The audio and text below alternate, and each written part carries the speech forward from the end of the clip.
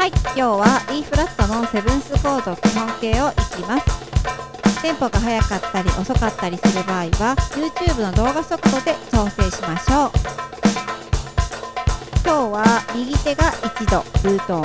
左手が3度5度7度を押さえに行きます。私がコード名を言うのでその後にコードの名前を言いながら弾きましょう。E フラットメジャー7マイナーセブン。D マイナーセブン。A フラットメジャーセブン。B フラットセブン。D マイナーセブン。D マイナーセブンフラットファイ5 E フラットメジャーセブン。折ります。D マイナーセブンフラットファイブ。minor 7,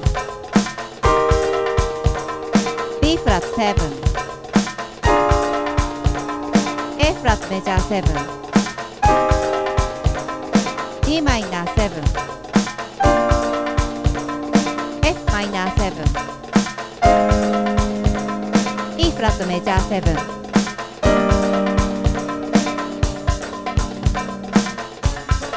ちゃ難しかったね。よく頑張りました。明日もやろう。